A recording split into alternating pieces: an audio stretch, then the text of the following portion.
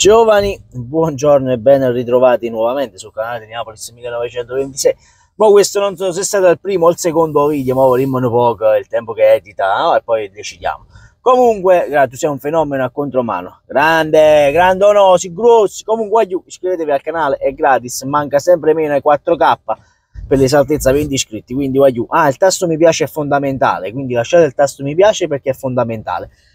Signori, uh, vorrei parlare di quello che è uscito nelle ultime ore. Uh, Yankto, vorrei parlare un attimo di Yankto, ragazzi, perché questo ragazzo mh, mm, che nel 2023 fa coming out e tutti i giornali riportano la notizia come se fosse qualcosa di incredibile, ragazzi, no? Come se fosse una cosa incredibile, una lettera struggente proprio di Yankto sul suo canale Instagram, se non sbaglio, andatevela a recuperare la, il video dove lui dichiara di essere omosessuale uh, dichiara tutto il suo amore, non vuole, non vuole più pregiudizi nei suoi confronti. E, e, video veramente toccante. Comunque, ragazzi, io mi vorrei soffermare su questa cosa, no? Siamo nel 2023. Siamo nel 2023 e gente, e gente come Yankton, come giocatori, perché poi Yankton non sarà il primo e non sarà l'ultimo a fare coming out, ragazzi. Uh, e c'è ancora questa cosa di sorprendersi, no? Uno dice, ma come fa possibile, uh, è omosessuale, gay, uh, co- com'è possibile? Ragazzi, ma siamo nel 2023 e voi vi fate ancora i problemi, e parlo con quelli che hanno la mentalità chiusa, voglio, perché alcuni hanno una mentalità chiusa, voglio, dove, dovreste stare ai tempi del, del Medioevo, secondo me, uh, per quanto siete ignoranti, no? Uh, questi dicono ah no mo eh, partono subito le battute contro Yankto eh mo ora quando si va a fare la doccia nessuno si vorrà fare la doccia a lui perché è gay uh, di qua e di là. Cioè ragazzi ma veramente state cadendo così in basso? Cioè questo è un ragazzo che ha sofferto tanto nella sua vita no? Perché poi uh, nel mondo del calcio lo sappiamo come com'è questa cosa di dire oh, io sono omosessuale. E nel mondo del calcio è visto un po' come un tabù perché uno dice no, questi giocano a calcio, quindi devono essere per forza uh, maschi, non possono appartenere a questa categoria di persone. Cioè ragazzi, io sinceramente, sinceramente, io preferirei un figlio gay che non un figlio mal, malandato che va a fare le rapine, che spaccia, che fa. Io, io sono sincero, sono sincero. L'importante è quello che, che, questo ragazzo prova dentro, prova amore per, per un uomo, basta, voglio, qual è il vostro problema? Cioè io questo non riesco a capire perché deve fare notizia, notizia, una cosa che al giorno d'oggi dovrebbe essere normale, dove ognuno dovrebbe vivere il proprio amore come gli pare, voglio.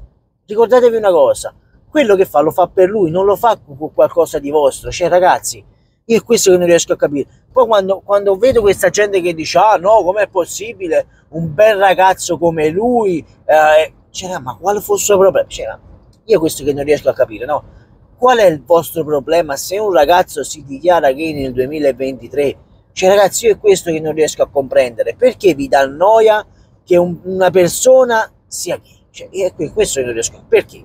Perché vi dà così noia? Cioè io, io, io ve lo giuro non riesco a comprendere questa cosa, non la riesco a comprendere veramente, anzi io mi auguro che ci siano altri giocatori, altri giocatori che sfatino questo dal tabù di essere gay nel calcio, perché voglio, ci sono i giocatori gay, ci sono, ci sono, anzi vanno aiutati, vanno aiutati a non sentirsi discriminati da qualche bulletto nello spogliatoio, perché dobbiamo dirlo, voglio, ci sono gli scemi nello spogliatoio, come ci sono gli scemi uh, in terza categoria, ci sono anche gli scemi in Serie A, voglio.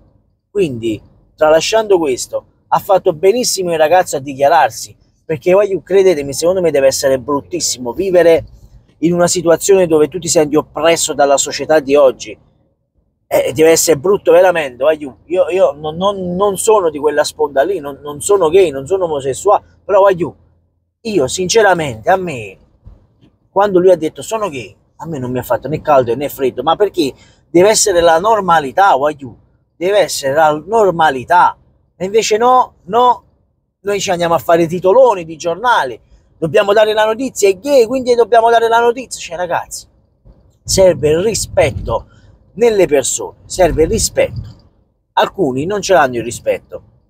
Se tu hai deciso che sei gay, alcuni dicono è una malattia, ma io ve le darei le malattie, proprio le malattie mentali, le malattie terminali vi darei quando, quando fate questi ragionamenti, perché voglio, questo è un ragazzo bravissimo, bravissimo, e voi lo bistrattate solo perché gay, cioè io, queste sono cose che a me nel 2023 mi mandano al manicomio, io sono sincero, mi mandano veramente al manicomio, sono cose che io schifo, schifo con tutto me stesso. Scusatemi lo sfogo, voglio, ma lo dovevo dire, lo dovevo dire, mi dovevo levare questo sassolino dalla scarpa.